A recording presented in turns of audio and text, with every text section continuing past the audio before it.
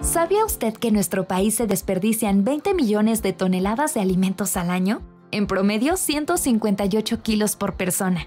Esta cifra, reportada por el Banco Mundial, contrasta con los más de 24 millones de personas que solo hacen una comida al día. Para hacerle frente a esta realidad, Alimento para Todos, institución de asistencia privada, se ha dedicado, desde 1995, a recolectar y distribuir alimentos a habitantes de la Ciudad de México y la zona conurbada que no tienen garantizada su sana alimentación. Alimento para Todos es el Banco de Alimentos de la Ciudad de México. Desde hace 26 años recupera alimentos y bienes básicos que han perdido valor comercial pero que aún son aptos para el consumo y el uso humano. Posteriormente los redistribuye a familias que viven en pobreza en la zona metropolitana. Con estas acciones se mitiga y, disminuye el impacto negativo del, medio ambiente que, que se tiene por pérdidas y desperdicios de alimentos. Alimento para Todos beneficia a diario a más de 60.000 personas en situación vulnerable. Cada mes rescata 1.500 toneladas de alimento donado por la Central de Abasto, cadenas de supermercados y plantas procesadoras, así como organizaciones de la sociedad civil. El grupo operativo traza cada día las rutas de recolección de alimentos y 33 camiones salen a repartir despensas básicas de alimentos perecederos como frutas y verduras. Nuestros grupos beneficiarios tienen un padrón entre, 200, entre 300 y 400 familias y la cantidad de producto que manejamos eh, es alrededor de, de, 20, 30 toneladas hasta 100 por grupo. Entonces esas, ese, ese producto se, va, se entrega por semana. En el caso de mi comunidad, yo trabajo con personas, ahora sí, de escasos recursos que se encuentran en situación de riesgo de orfandad o desnutrición.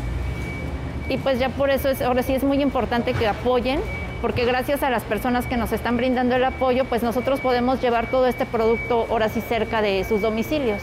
Ante los problemas sociales y económicos que causó la pandemia, Alimento para Todos creó un modelo de sostenibilidad que ayuda a garantizar el apoyo a sus beneficiados. Mediante su planta procesadora generan mensualmente 15 toneladas de tortillas, una y media tonelada de totopos y 5 toneladas de pan molido que se distribuyen y reparten en diferentes comunidades.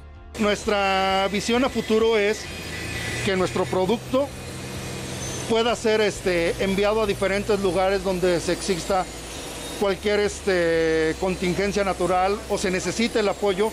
Nosotros podemos realizar despensas en las cuales podemos eh, incluir granos y tortilla para poder ayudar en esa situación. Para que Alimento para Todos funcione, las alianzas con instituciones, empresas y voluntarios son clave. Dar de comer a quienes más lo necesitan es un compromiso social de todos.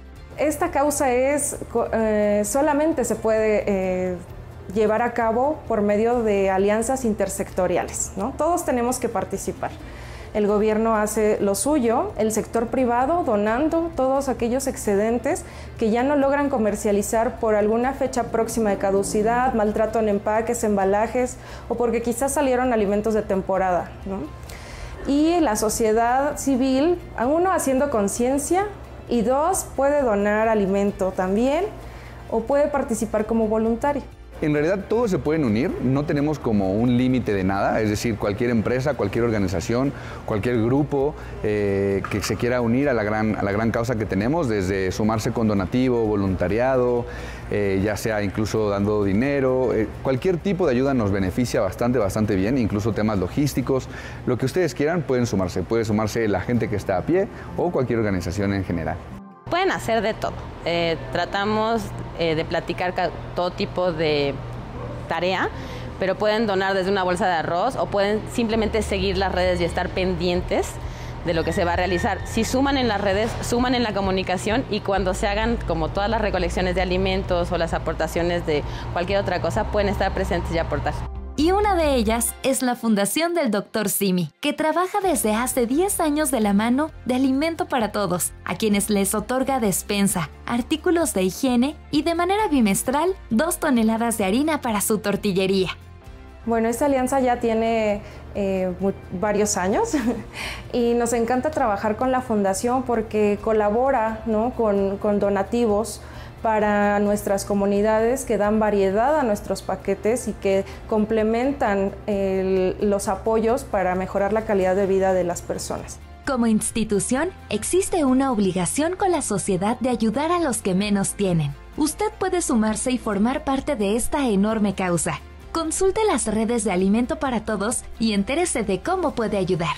Son bienvenidos donativos de alimento, ropa, papelería, juguetes y equipo de cómputo. También puede donar dinero o servicios necesarios para la operación de la institución. Recordemos que ayudar es vivir.